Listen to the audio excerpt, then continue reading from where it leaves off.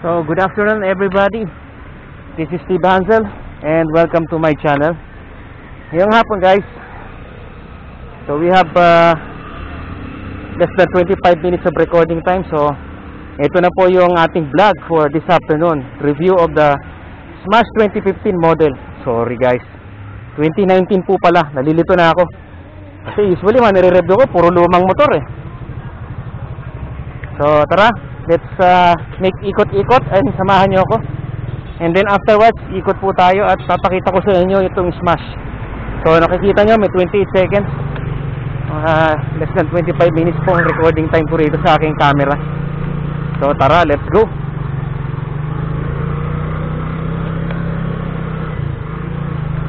Ikot po muna tayo, guys. So, guys, itong aking uh, video review. 2 in 1 po ito, no? I will be reviewing the Smash 2019 model. Drum brake po yung harap. At saka itong Smash na ito, disc brake conversion. Okay? So, shoutout po pala sir sa iyo na nagpairam sa akin ng Smash. At uh, nakakagawa po tayo ng review.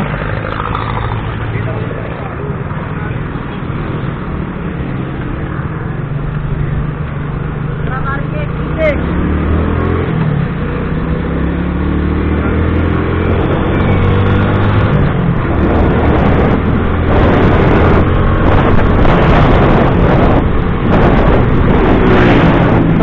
brief pa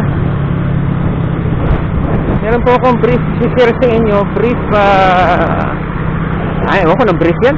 Ewan. Hindi ko alam kung jockey o boxer. anyway guys. Hindi kasi noong ah, 2012, meron po akong ganitong smash. Binili namin ni Mrs. ng ah, installment sa yung dating shop ng motor. Yung, uh, ano pangalan nito? Ah... nakalimutan, nakakalimutin na ako, ewan. Basta wala na siya ngayon.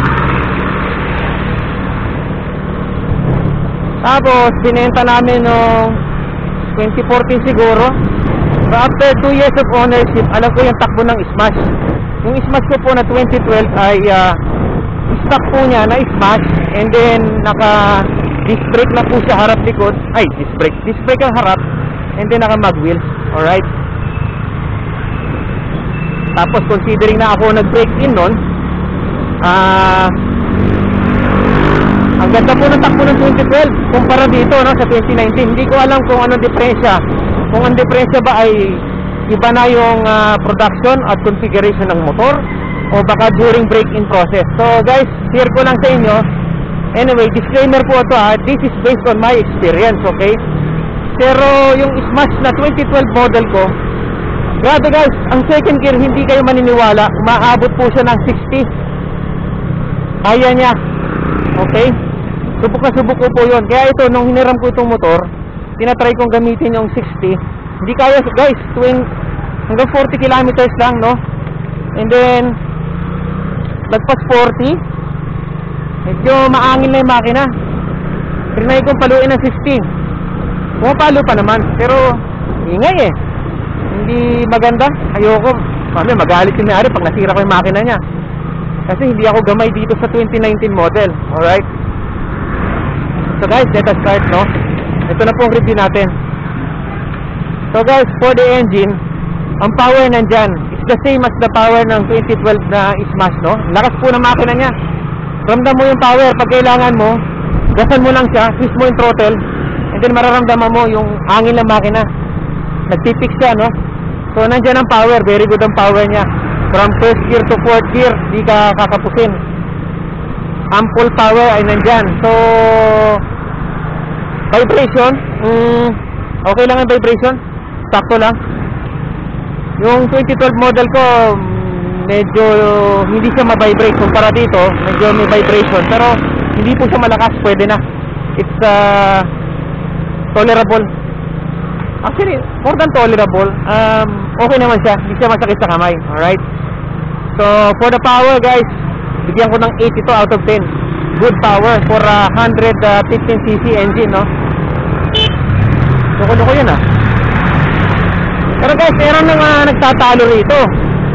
Sinasabi nila 110 daw to, no? Yun ang nakapagtataka. Ah, upon checking sa ilalim ng upuan, nakalagay 110cc. Alright?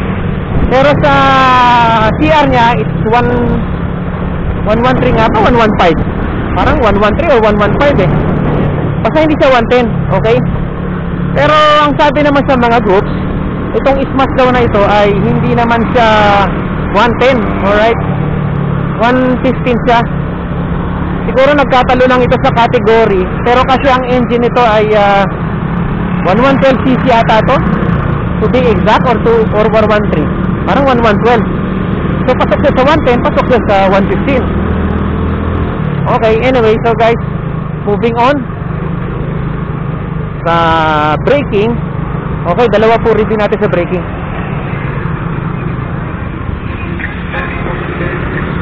Yeah, wait guys, malubak. Doon po sa naka-drum brake na eh, braking, no? Medyo ang drum brake niya ay sa likod, okay naman ang kapit. Typical drum brake, hindi malakas, hindi naman din sobrang hina, sakto lang. Okay? Para sa harap, drum brake, malakas na kasi na kaunti, no? Yung stop drum brake nito. Kasi guys, ito nahiram ko to nung one time, nung December, hindi pa to na-convert to disc brake, kaya nagulat ako, naka-disc brake na siya, naka-mags na, formado na. Typical na drum brake, no? Kaya alam ko yung preno niya, nakakatakot actually. Kasi one time, dinala ko sa office yung itong smash na to na naka-drum brake. Ang hina ng preno, nakakatakot siyang i-biyahe. Kasi iba po ang driving style ko eh. Bukod sa sanay na ako sa naka-disc brake, ah, medyo aggressive akong driving style ko. Mabilis, at the same time, hindi naman ako top speed. Medyo ma-accelerate lang ako tumakbo. Okay? So, para dun sa mga makapag-adjust sa drum brake, okay lang po yung drum brake, no? Pero yung hindi po komportabling gumamit ng drum brake sa harap, the best is uh, bumili po kayo ng disc brake edition o kaya naman ipa-convert nyo pero I wouldn't suggest ang conversion kasi pag hindi po marunong mag-convert yung gumagawa, pangit ang labas. Okay? So, pinaka the best pa rin is uh, bili kayo ng uh, disc naka-disc na as stock. Oo eh. Hanap kayo ng magaling mag-conversion. Okay? Okay guys, balik tayo.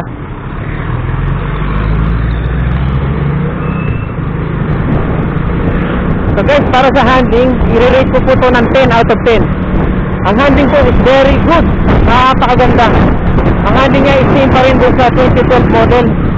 Ah, napakagaan ng ah, steering niya yan guys, oh, para siyang scooter. Pero at the same time, hindi yun yung parang napakagaan ng harap. Planted pa rin siya, pero napakagaan ng uh, hit niya. Ayan oh. Yan guys, nakita nyo? Sarap niyang iliko-liko. At ah, ang ah, stock suspension sa harap, okay. Comfortable. Sa likod, ganun din. Comfortable din. Standard ng isang underbone, hindi ka matagtag ang biyahe mo. Hindi ka mangingisay sa lubak. Okay, nagdito sa amin sa Montalban.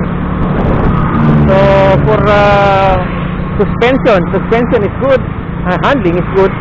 Pero po sa handling, rate siya ng 10 out of 10. Para po sa suspension, it's the same thing. 10 out of 10 din ang suspension. Saktong-sakto po para sa comfort niya. Okay? Hindi siya matatag. Okay. So moving on, we have discussed the engine, suspension, comfort.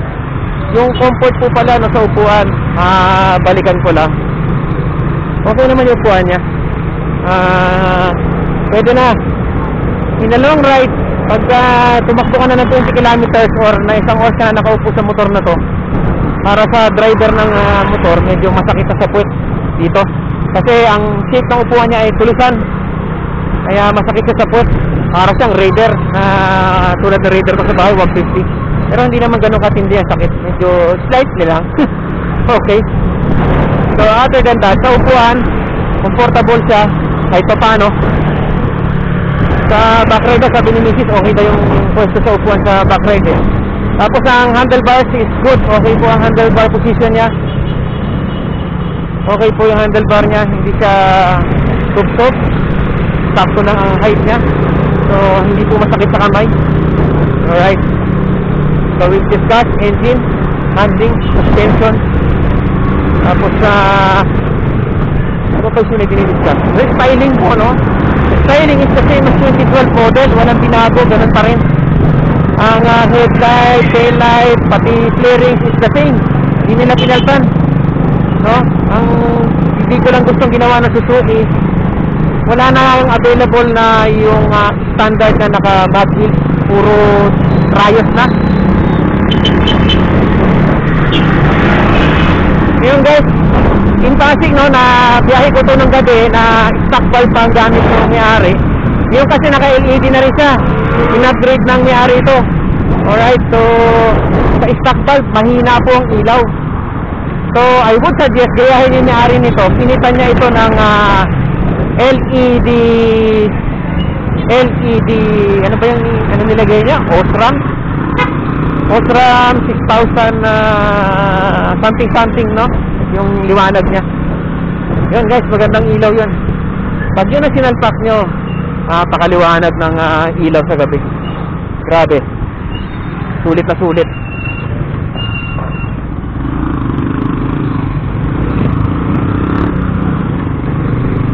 So, okay guys. Now, uh, ano pa ba na-miss out natin? Likas ko ng engine, comfort, suspension, handling. Ah, sa braking power guys ha, yun nga pala no, going back, gulo ko talaga. Braking power po ng ah, drum brake, harapat likod, i-rate ko po siya ng ah, 6 out of 10. Napakahina po ng ah, sa likod kasi hindi naman malakas ang braking nito, no? Tapos dagdagan mo sa harap na naka-drum brake. Mahina din. Nakakatakot. Unlike po kung naka-disc brake, modulation siya eh. Ramdam mo yung preno, so alam mo kung paano mo lalaroin. Pag drum brake, medyo nandyan, paminsan lumalakas, humihina. Pero pag disc brake, laging consistent ang ah, braking power niya, no? So, for sa disc brake conversion nito, guys, ang braking power, malamang siguro doon sa stock na disc brake nito, ganun din ang power niya. 8 out of 10. Maganda po yung naka-disc brake. Talagang komportable kang mag-brake.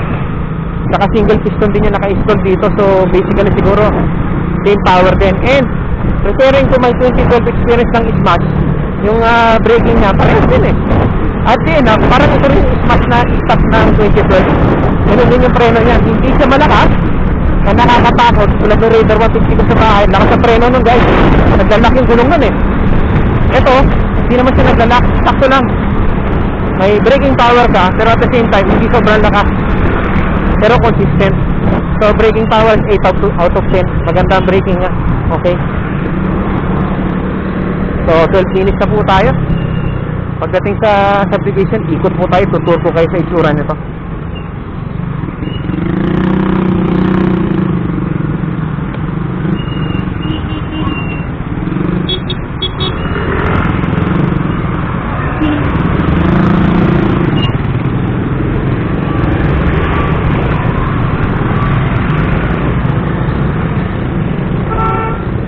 Nakulit naman mga tao.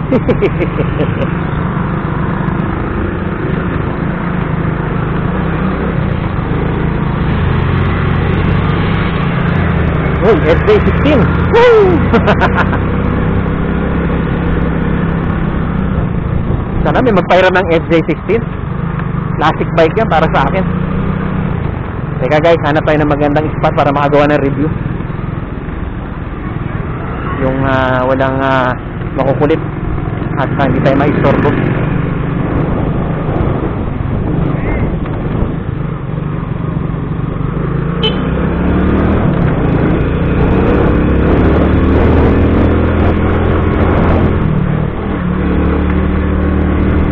Natin doon sa may bandang uh, likuran namin dyan.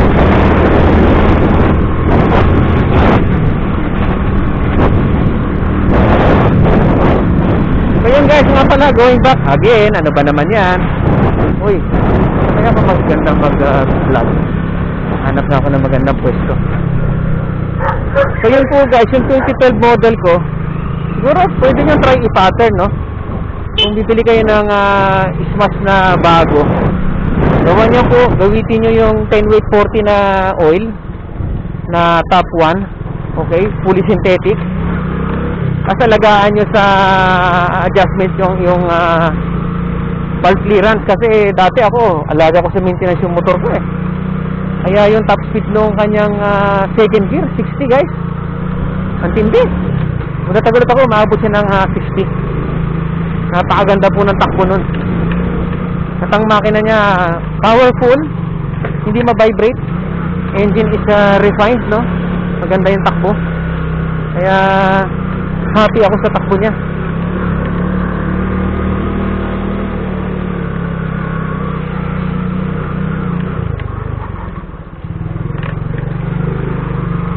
Ano ba guys kaya nakalimutan ko sa aking review? Ah, siguro wala na. So guys, I would rate this uh, Suzuki Smash. Sabi nga po nila, it is a leisure underbone, no? Number one selling leisure underbone. Di ako magtaka kasi, biro mo, sabihin na natin, 2012 na lang, no? 8 years na itong model na to, hindi nila minomodify. Daming bata. Parang walang COVID, ah. So, napakaganda ng Smash, hindi nila pinapalitan. Ganun pa rin.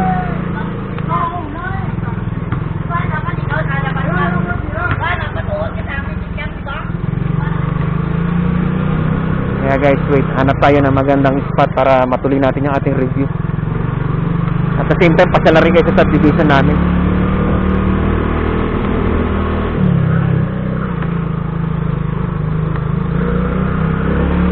So yun po, sa pong magandang pattern is gawin nyo, ganun.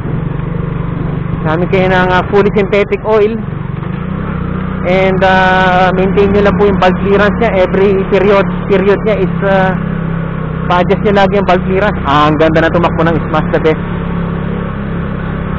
ah, pasensya na kayo guys ang gulo ng review ko no? Para dati ngayon parang ang gulo-gulo. Na ulit ako nag-review ng motor eh. So sabi nga nila the number one selling diesel underbone itong motor na ito ay uh, napaganda niya no? Na-miss ko yung smash. Parang gusto ko rin mag-smash ulit. Maganda ang takbo niya. Lalo sa traffic guys ang ma-appreciate nyo meron kang uh, cambio rito okay? And at the same time wala kang clutch so di ka mapapagod. Para ka naka-scooter na may cambio. So value for money guys. Teka.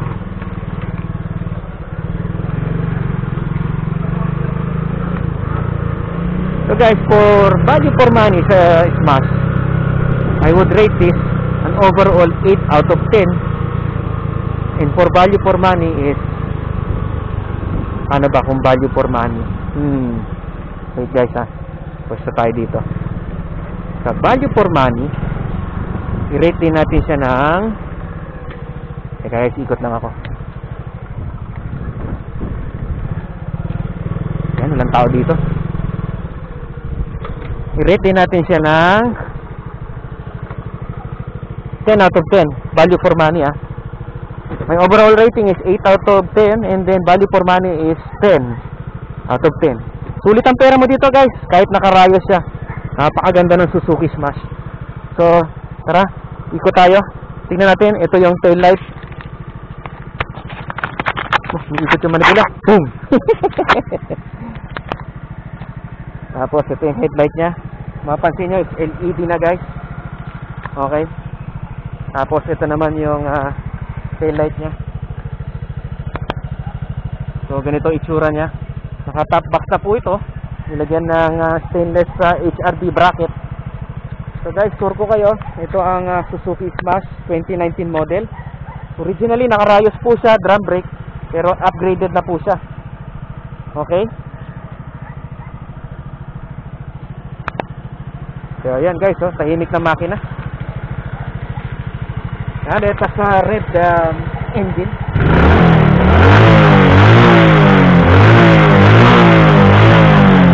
Sound.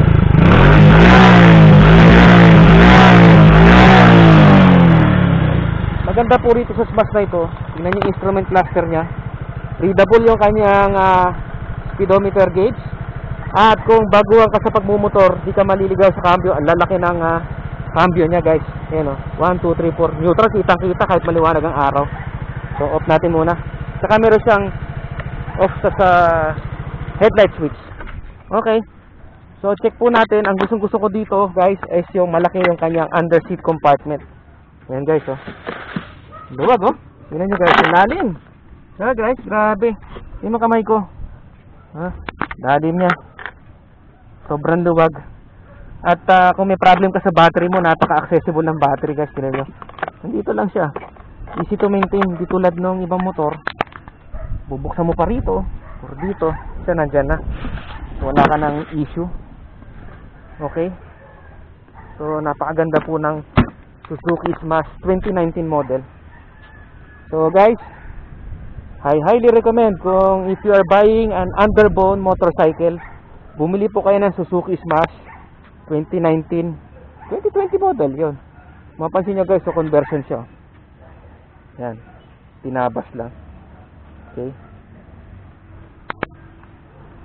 So guys, Pili kayo ng Suzuki Smash, di kayo magsisisi. Good power of the engine, good handling and performance. Siguro I would suggest lang kung naka-drum brake kayo, mag-conversion kayo ng disc brake or kung may pera kayo, bili kayo na naka-disc brake na, no? Kaya di kasi nakamags, ang pangit tignan eh. Pero kung mahilig ka sa magandang forma, the best pa rin yung nakamags tulad nito. And, ah, ano pa ba kulang dito? Yun nga lang, yung muffler niya, tahimik. Yun pala ang ah, hindi ko nagustuhan dito. Tahimik siya kumpara sa Vega Force. Napakaganda ng ah, makina niya. Saka dati guys, yung Smash na 2012 yung naka stock mag wheels ay meron ditong safety switch. Yung may lock siya, parang sa, sa Raider 150. Yun ang maganda ron. Ito, wala eh. Anyway, so guys, ah sa mga gusto bumili ng Smash, bili kayo ng Smash.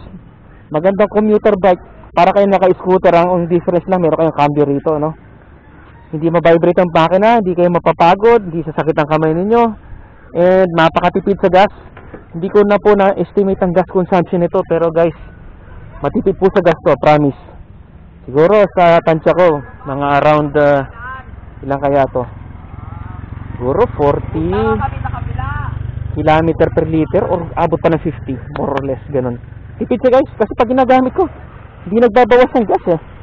Ang tipid. Definitely mas matipid kaysa sa Raider at sobrang tipid kumpara sa yung review ko dating scooter na easy ride. Lakas sa gas nun. Wow, SUV yun ah. Malaki. So guys nga pala Montalba no. Ah, ang taas dito. Ganda ng view.